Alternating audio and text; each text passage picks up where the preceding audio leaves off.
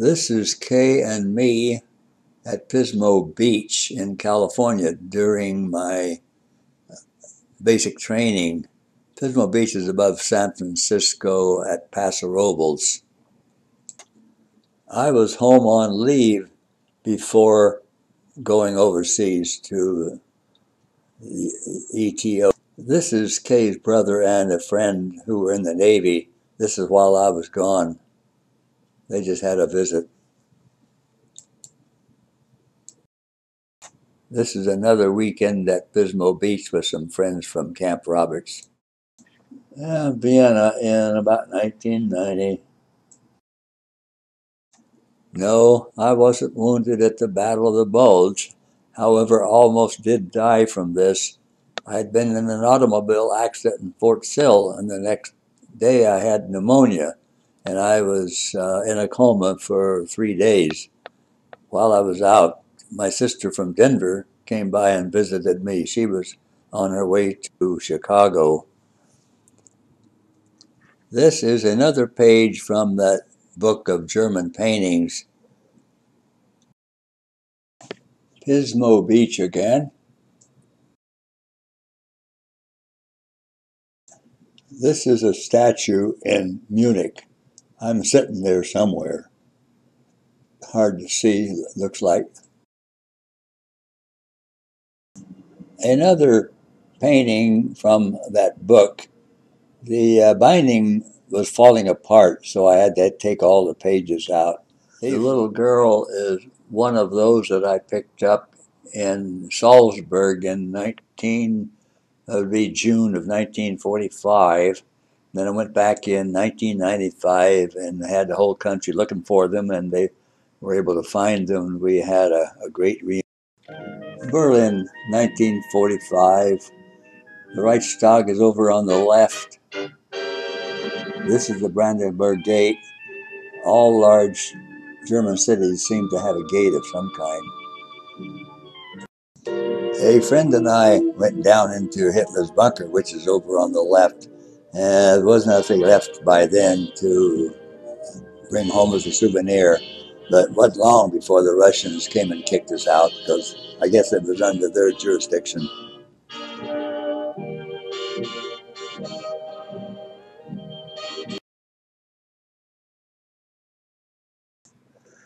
In 1985 or 90, whatever it was, I revisited the Maginot Line where I was in 1945. This is a prison of war camp near Darmstadt, which is, oh, maybe 15 miles south of Munich. That was one of under our jurisdiction. And I'd gone out with the colonel one day. I guess he was checking into it. We were also denazifying uh, the, the captives.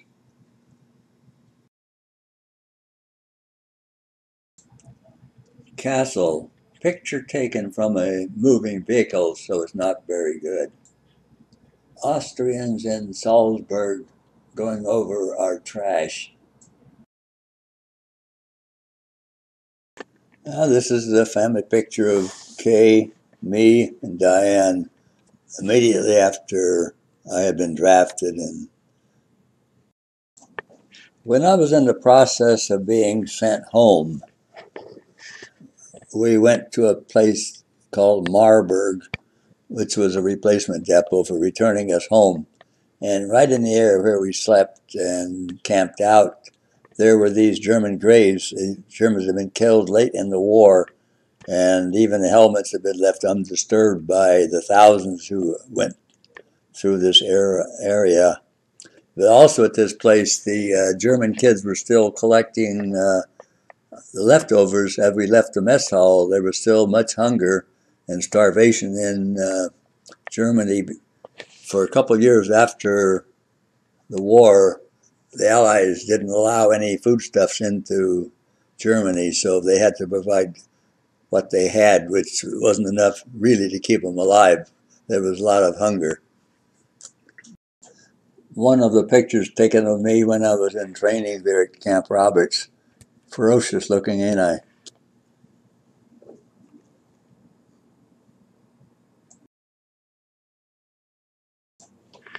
another statue, or maybe even one of in Munich. I'm sitting there on it. I, I don't know if it might even be the same one. The other one was so dark I couldn't tell.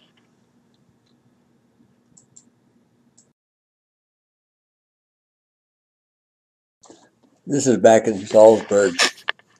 This is where the war ended and our headquarters was. We stayed there till we moved up into Germany uh, a few weeks later.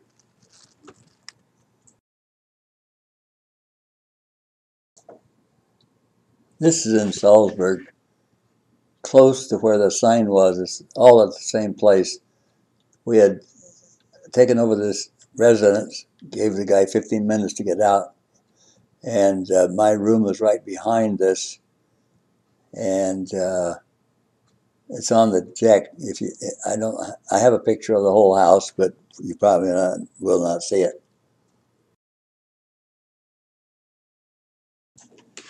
me next to a replica of a German tank with a an 88 millimeter gun on it, which was claimed by many to be the most ferocious weapon of World War II.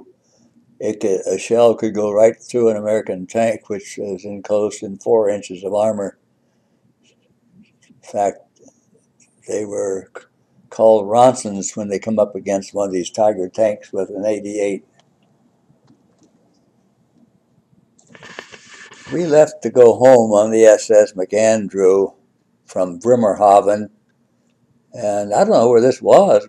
Don't think it was Marburg. Could have been where we were headed up to Bremerhaven to take the boat. This is the train we went on.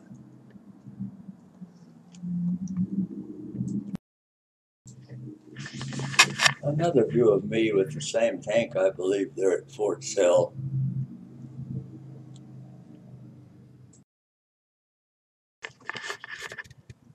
In late June, I think it was, 1945, we left Salzburg to go up and occupy the area around Kassel, Germany.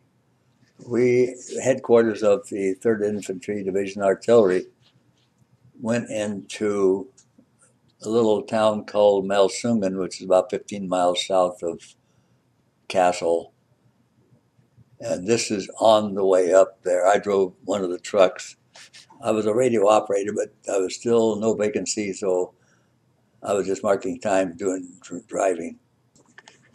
Now, this is one of the grown-up girls that I had my picture taken with in Salzburg in May of or early June 1945.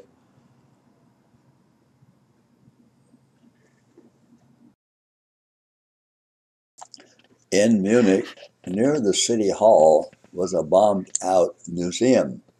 And I went inside and uh, had my picture taken with this ancient statue, probably of Rome or Greece, most likely Rome.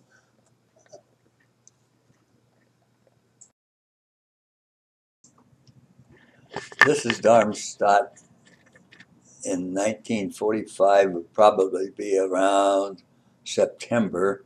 We had moved down to or Darmstadt from from Melsungen.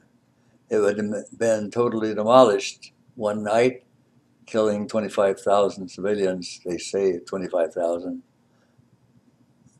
Today, they'd be considered them innocent civilians. Sort of a war crime, I guess, but even in that war, civilians were also the enemy.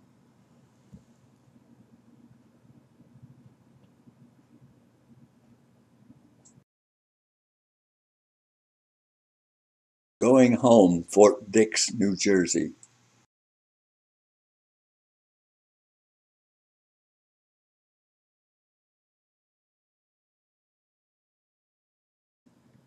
Another of the German paintings,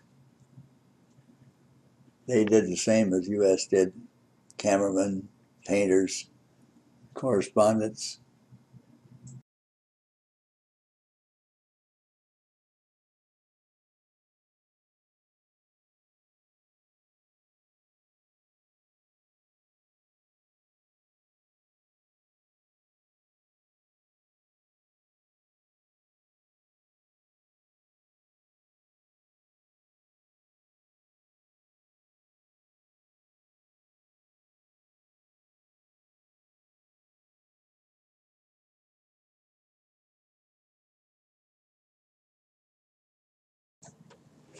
I think this gate is in Munich.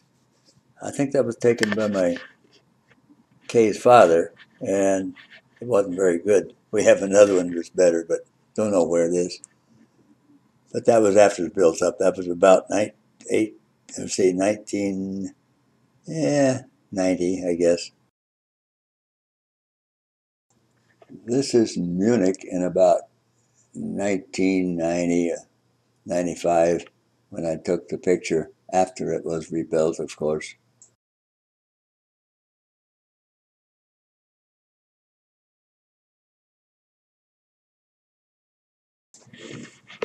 Munich City Hall.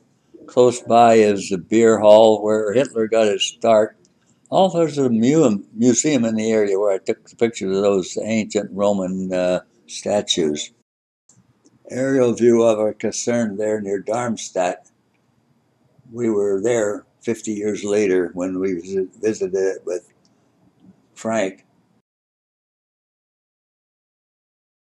The SS Europa, built in the 30s by the Germans to compete with the Queens of England, getting ready to come home. There we are at Fort Dix, New Jersey.